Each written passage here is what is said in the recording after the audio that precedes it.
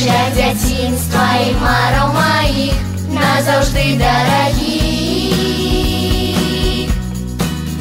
Кожний день зустракаємо мы тут, как мацнев і квітнев родний кут, как батьківська